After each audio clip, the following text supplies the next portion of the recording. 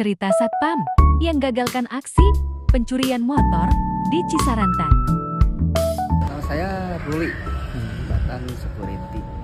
Sekitar jam 12.07.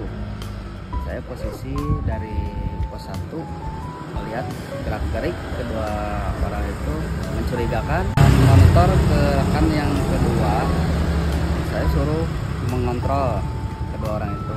Ternyata saya terus telusuri dari CCTV pos. Bilangin ke pandang nggak jadi ke rumah. Banyak alasan gelagatnya banyak alasan.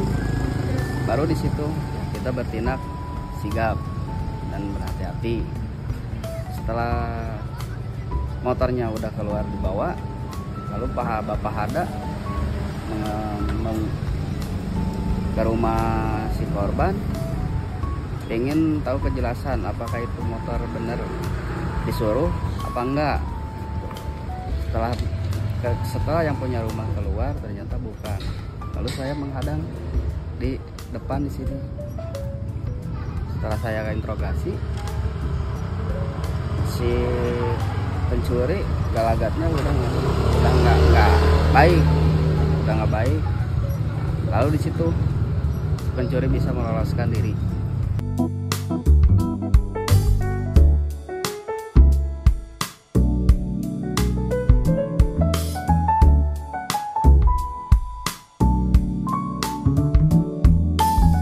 perasaan saya ya sedikit ada bangga gitu ya karena udah bisa mm, mengamankan lingkungan Antorium dan ya untuk ke depannya paling saya kinerja saya bisa lebih baik lagi dari ya alhamdulillah bangga. Saya juga bangga.